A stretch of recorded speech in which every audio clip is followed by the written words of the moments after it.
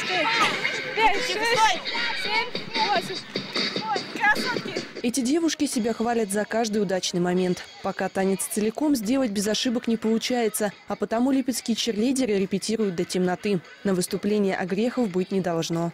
Три, четыре. Маша! Наташа Зверева занимается месяц, она маленького роста, а значит надо учиться делать трюки на высоте. Самое главное – напрягать все мышцы, чтобы не потерять равновесие. Мне было страшно, потому что я не выпрямляла коленки. И если коленки не выпрямляешь, равновесие теряется, ты можешь упасть, там что-нибудь сломать себе.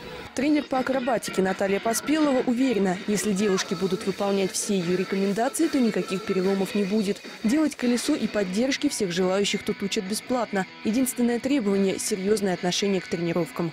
Желающих, да, очень много на самом деле, но некоторые приходят, видят, что здесь более сложно. Здесь надо уметь делать э, такие вещи, как акробатика, там рандаты, колесо, шпагаты, чтобы хоть какая-то растяжка, но была.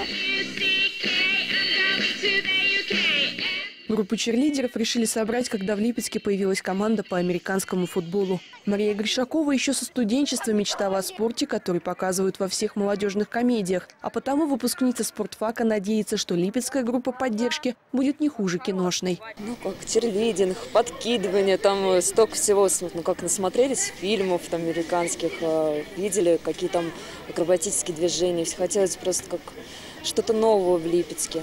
1 июня у черлидеров первое выступление. Девушки будут танцевать на соревнованиях по американскому футболу. А в будущем уже планируют представлять Липецк на всероссийских соревнованиях среди групп поддержки. Наталья Медведева, Юрий Талдыкин, ТВК Новости.